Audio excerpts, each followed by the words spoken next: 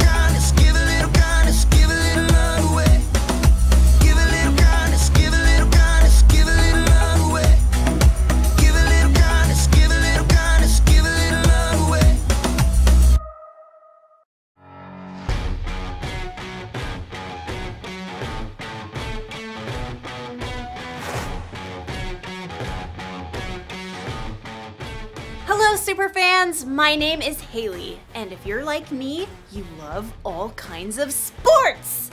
And you love cheering on your favorite people.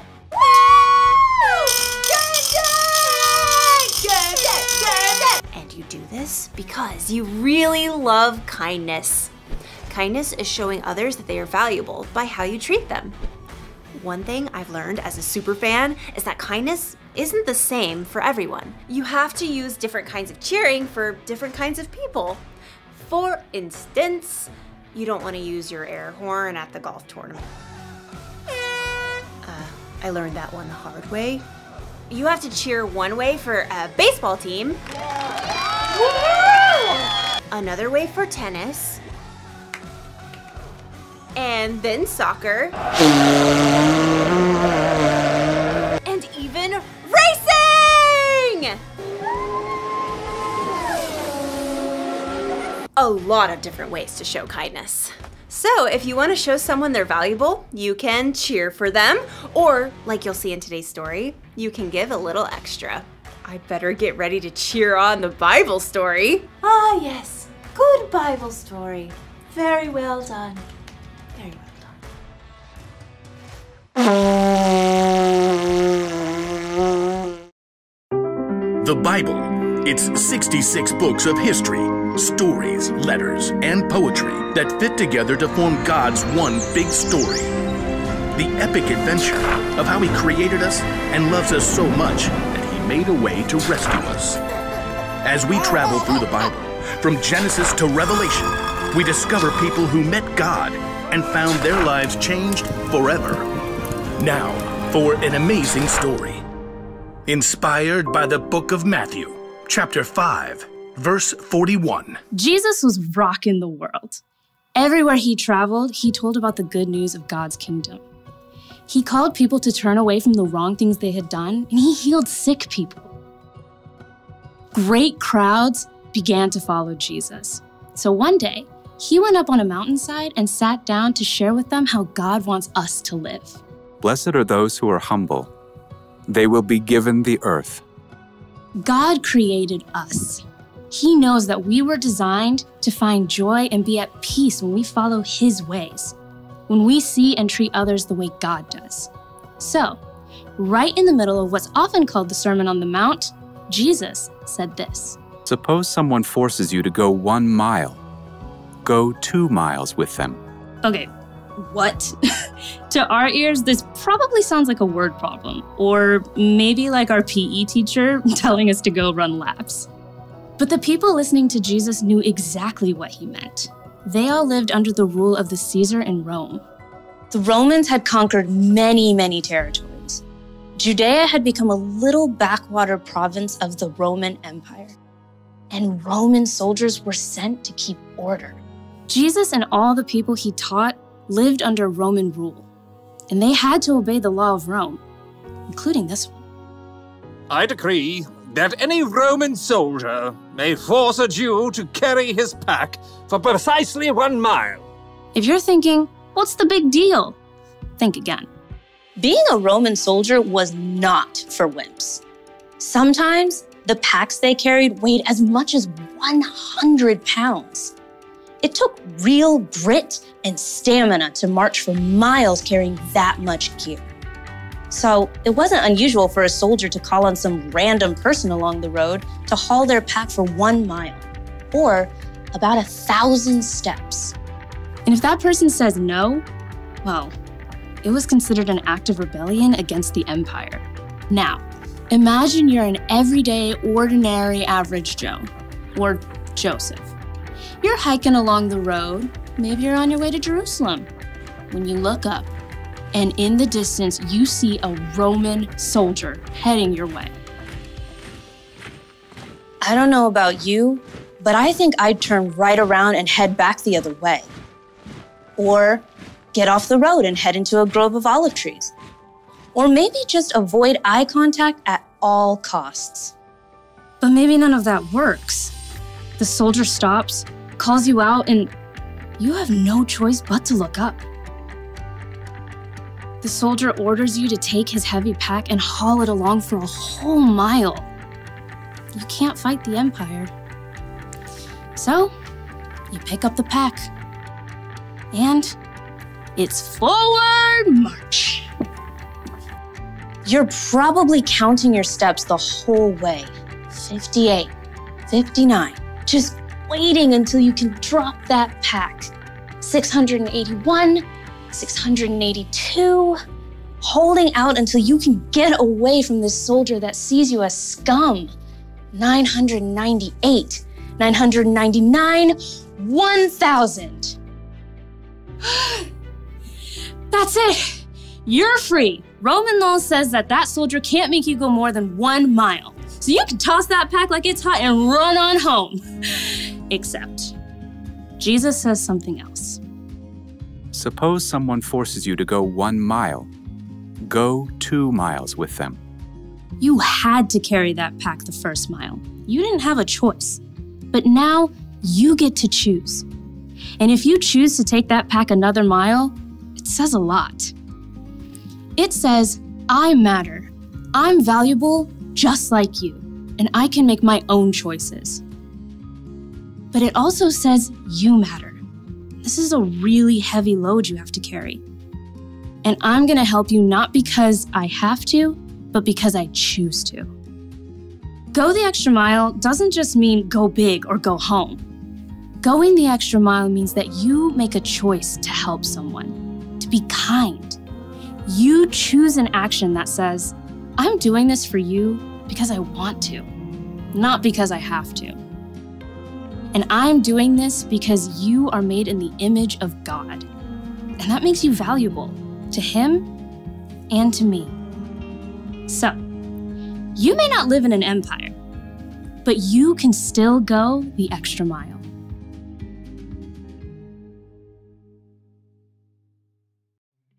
Jesus' disciple Matthew wrote down one of Jesus' most famous sermons, sometimes called the Sermon on the Mount. Jesus taught so many things about kindness, like Let your light shine so others can see it. Woo! Do not judge other people. Love your And Jesus also said this Suppose someone forces you to go one mile, go two miles with them. That's where we get the phrase go the extra mile. Huh. Nowadays, people probably aren't forcing you to go a mile, but the idea of what Jesus was saying still works. Going the extra mile means being kinder than you have to be. It means making your bed like you're told and cleaning the rest of your room even if you aren't told. Sometimes it means doing something you know you should before you're told and with a good attitude, but you don't do it for the applause. You go the extra mile because when you follow Jesus, you should be pointing people to Him. People can see how much Jesus loves them through the kindness that you show. So here's the one thing to remember today be kinder than you have to be. Show people kindness even when they may not earn it. Give them a little extra kindness they don't see coming. You can be their super fan. I did not see that coming. Goodbye, everybody.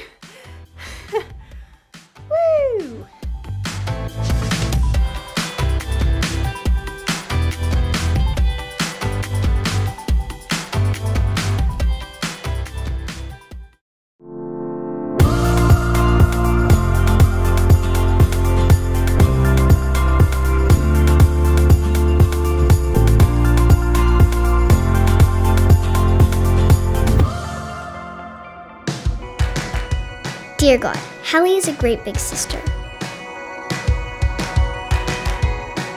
I mean, yeah, I would like to do more stuff with her, but she's always busy. Not in a bad way, just that she's always got stuff going on. But she always takes me to school, checks on me, and is always there when I need her. So, when I found out she was worried about the volleyball tournament, I had a plan.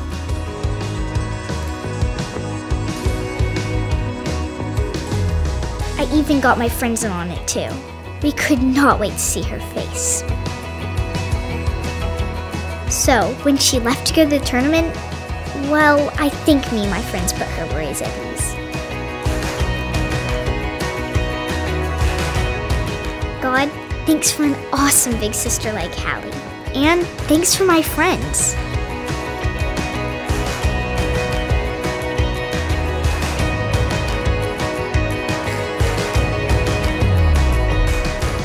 Oh, and you, God, you're the best cheerleader of all.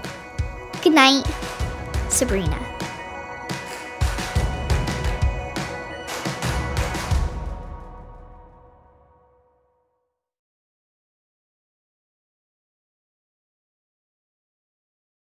When Jesus told his friends to go the extra mile, he meant that they should go further than they had to.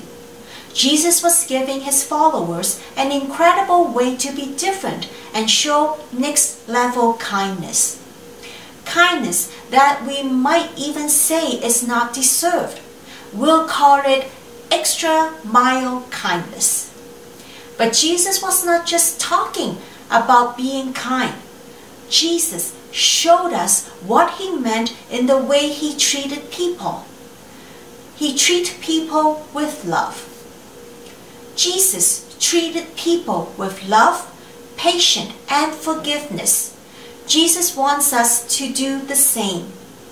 We should show kindness because we want to, not because we have to.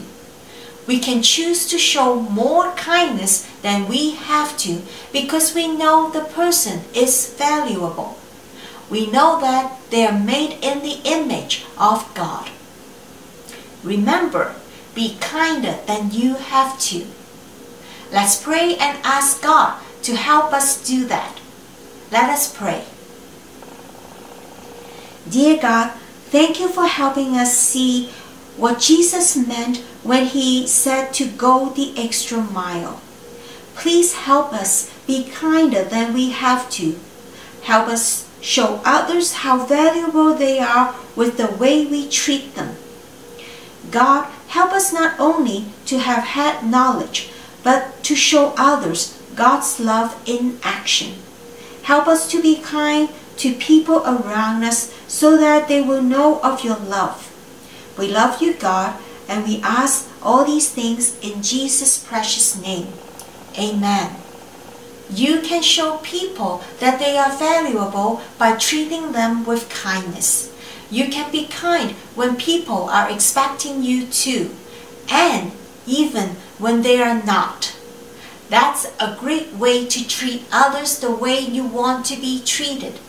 More importantly, when we show God's love to others, it's like we're shining His light for all to see. This week, be kinder than you have to. Don't just be nice to people because you have to, but truly show kindness to your friends, classmates, teammates, and family members from your heart. Thank you for joining us this week, and I look forward to seeing you next Sunday. Bye bye.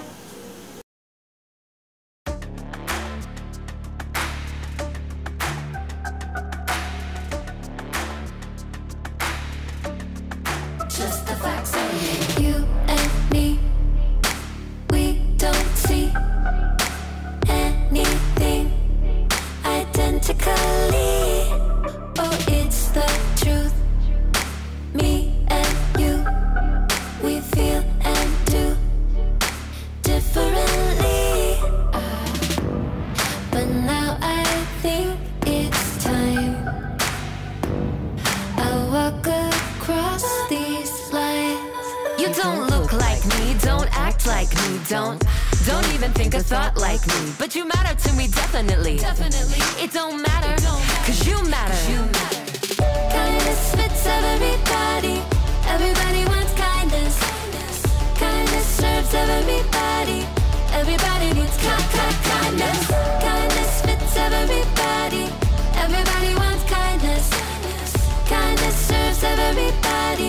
Everybody needs kindness. Why do we always run and hide? Pick up sides. Say we tried irrationally. We scream and shout. Get it out. We keep our doubts indefinitely. But now I think it's time. We walk across these lines. You don't look like me, don't act like me, don't Don't even think a thought like me. But you matter to me, definitely. Definitely. It don't matter, cause you matter. Kindness fits everybody. Everybody wants kindness. Kindness serves everybody. Everybody needs kindness